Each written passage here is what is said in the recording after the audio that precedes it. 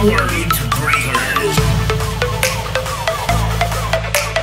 Tick tock tock tock. Tick tock tock tick. Tick tock tock tock. Tick tock tock tock.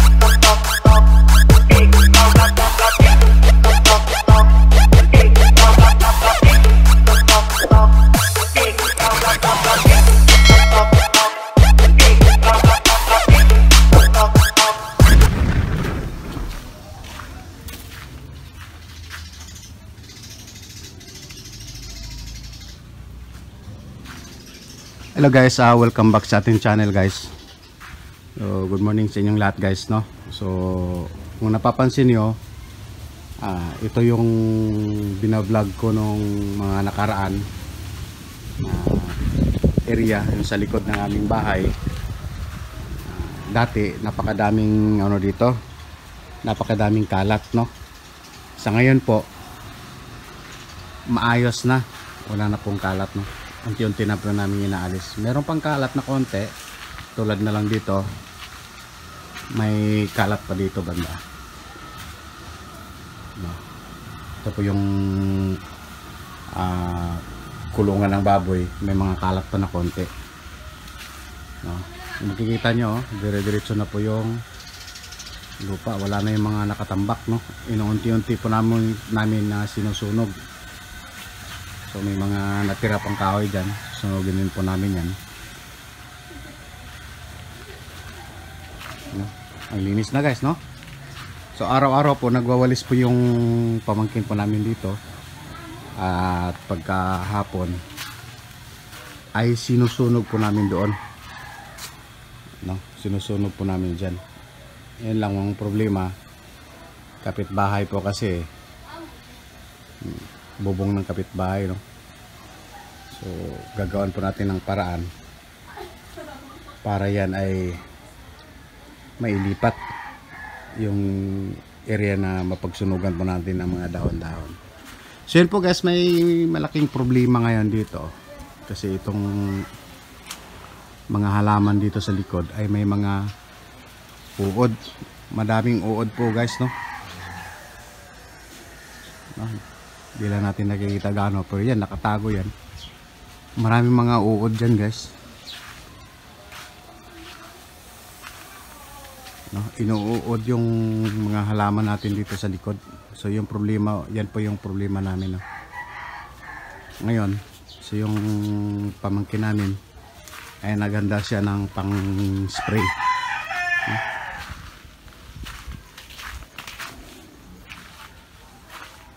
Sa punta natin. mag spray siya ngayon eh. So yun. Kukunan po natin ng video yung pag-spray niya ngayon. Ano, tingnan nyo guys ang nangyari oh. Ayun oh. Kinakain ng uod ng dahon ng ano. Yung ube, yung ube ito eh. Ayun oh, wala na mga dahon oh. Namamatay itong ube na ito guys. Oh sayang naman. Yun may nakita tayo doon sa unahan oh. tingnan natin. May uod doon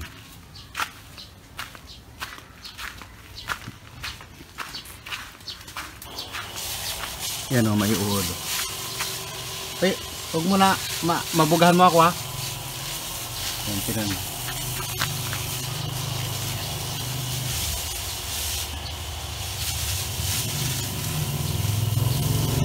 Yan guys oh umuod yan o yan yun. Makati yan guys no? so yan po yung isprayan ngayon ng ano natin.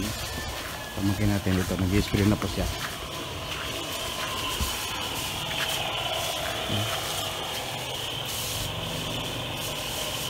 I-sprayan po niya yung ay yung direksyon ng hangin. Dito doon papunta no? Ang dami pala dyan oh. Nakatago lang oh. Na bright Dami yan. Naubos niya yung dahon ng ano, Oo. ng ube. Diyan nagmula yung ano. Papaliguan ka talaga dyan.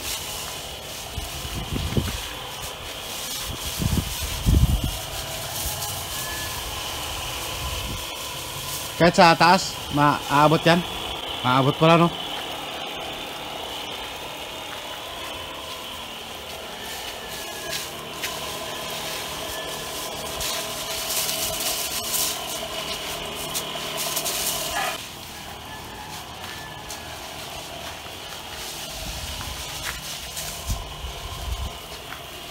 Okay?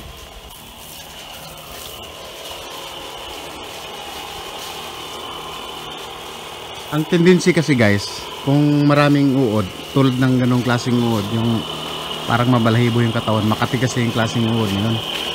So pag mag-stay ka dito, kasi minsan tumatambay din kami dito eh. Tapos madadapuan ka sa uod na yun, maangapi yung katawan mo. No, mamumula. Kasi makati yung klaseng uod na gano'n eh.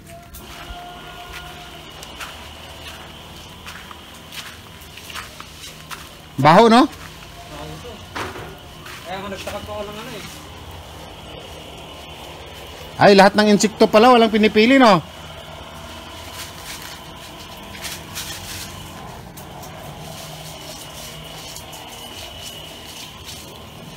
Ay, lahat ng insekto pala, Bray, no? Oo ba? Pang lahat yan. Ano, la, lamok, ano, patay, patay dyan. Huh? Parang naalarma sila lahat eh.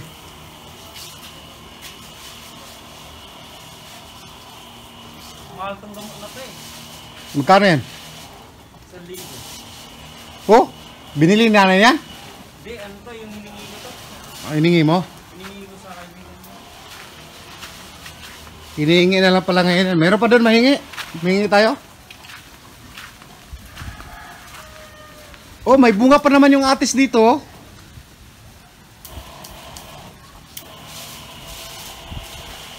Kaso maliit lang yung atis eh.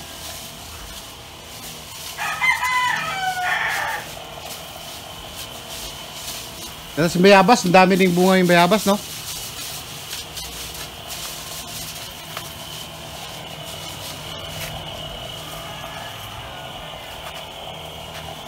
Ano yung tinatanim mo sa likod? Ito, ano, ah, talong.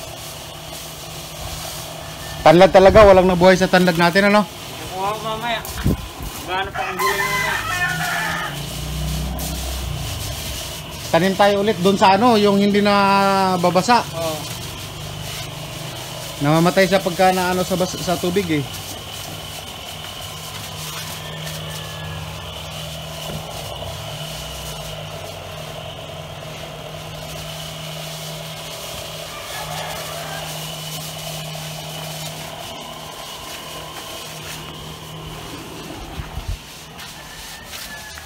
May mga kalat pa dito oh.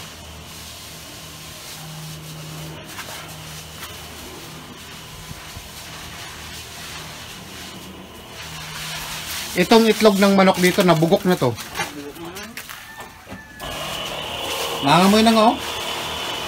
Inabandon, inabandon to ng inahin ano.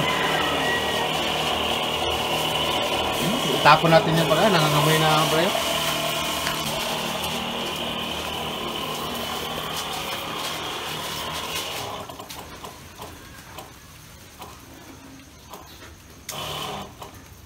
biglang uulan ngayon ano. Sasayang yung gamot mo.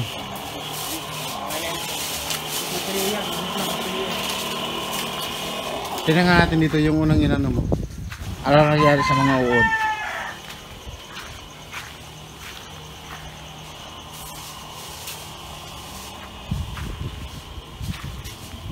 Ang tibay yata ng sikmura yung mga uod ah, hindi pa nalaglag ah.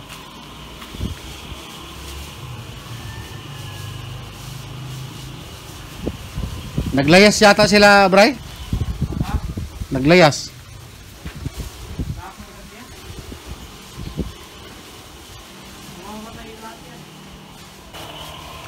Ayun o, gumagapang sila oh. Mamamatay na yan. Ay, namatay na nga yung iba. Patay yan, lasim yun eh. Ayun o. Ayun o, namatay na o. Tingnan nyo guys oh. Ayun o, ang isa gumagapang.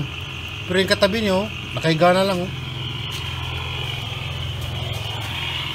Namamatay nga sila no. Wala, pati yung uh, maliliit na uod oh. Patay din.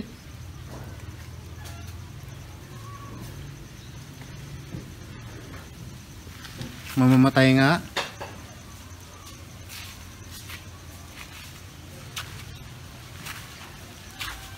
Kasi takbuhan silang lahat eh.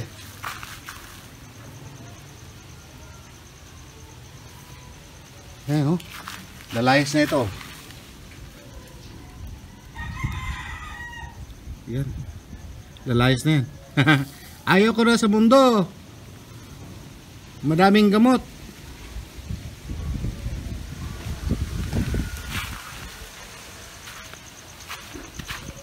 Tindi ng gamot, no? Namatay talaga yung mga uod.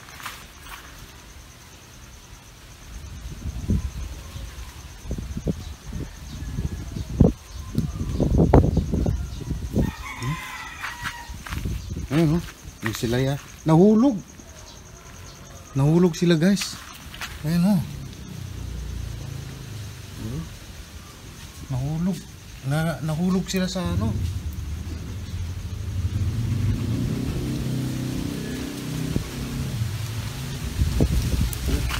So yun guys no. So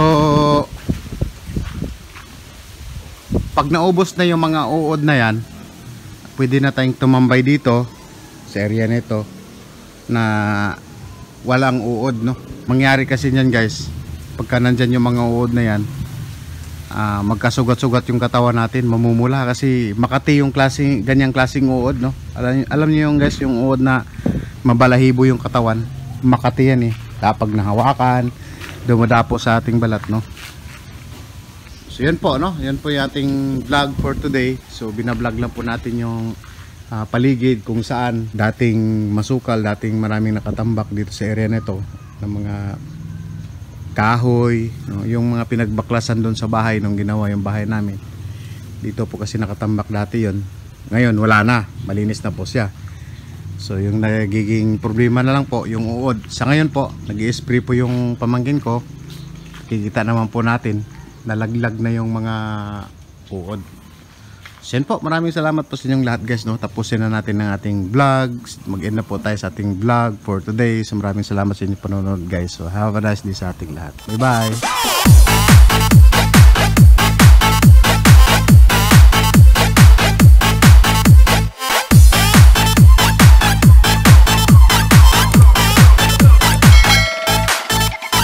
DJ